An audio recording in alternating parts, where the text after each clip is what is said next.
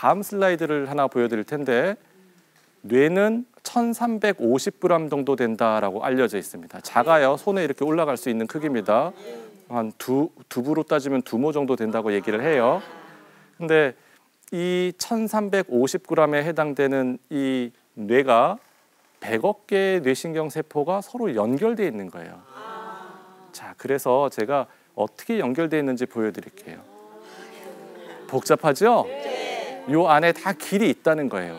서킷이라고 알려져 있는 회로가 다 있어서 자, 너는 시각을 담당해, 너는 후각을 담당해, 너는 생각하고, 너는 말하고, 너는 느끼고 이런 게 다 정해져 있습니다. 그런데 만약에 만약에 이 회로에 독성 물질이 쌓이게 되면 어떻게 될까요? 회로가 끊어져요. 그러면 바로 지금 여기 앞에 훌륭한 분이 말씀하신 것처럼 치매가 생기는 거예요. 지금 보이는 이 뇌회로에 독성 물질이 쌓여서 이 회로가 끊어지게 되면은 뇌 기능이 떨어지게 되고 그것을 치매라고 얘기를 하는 겁니다.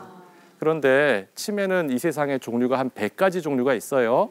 그 중에서 제일 흔한 치매가 알츠하이머 치매입니다.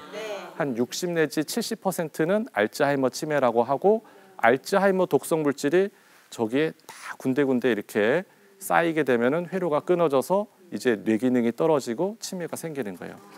혈관성 치매라고 얘기 들어보셨죠? 네. 뭐지요?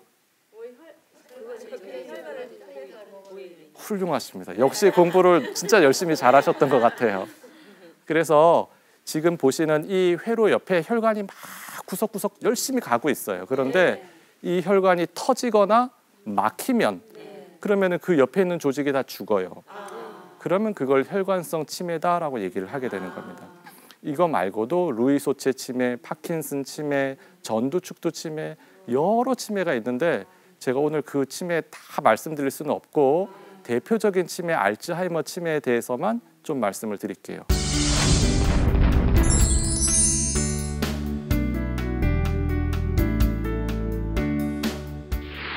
한 개의 신경세포는 보통 100개에서 1000개의 신경세포끼리 손을 꽉 잡고 있습니다.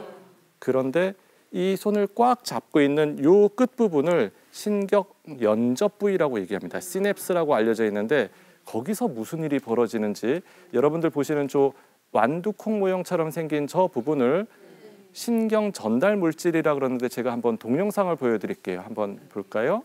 자, 뇌 속에 세포가 지금 전기적 자극이 갔다 왔다 갔다. 여러분이 저거 보고 계시는 도중에도 머릿속에 이런 일이 생기는 거예요. 1초에 120m의 속도로 굉장히 빠른 속도로 왔다 갔다 왔다 갔다 이런 일이 생깁니다. 그런데 제가 보여드리는 건 뭐냐면 요 전기적인 자극이 신경 끝까지 쭉쭉쭉 다 가고 나면 맨 마지막에 신경 전달 물질이라는 게 뇌 속에서 이렇게 퐁퐁퐁퐁 분비가 됩니다. 호르몬하고 다른 거예요. 호르몬하고 달리 지금 보이시죠? 저기 보면 동글동글 동글동글하게 생긴 저런 구슬처럼 생긴 게 실제로는 굉장히 작은 건데 이 신경 전달 물질이 뇌 속에 분비가 되는 겁니다.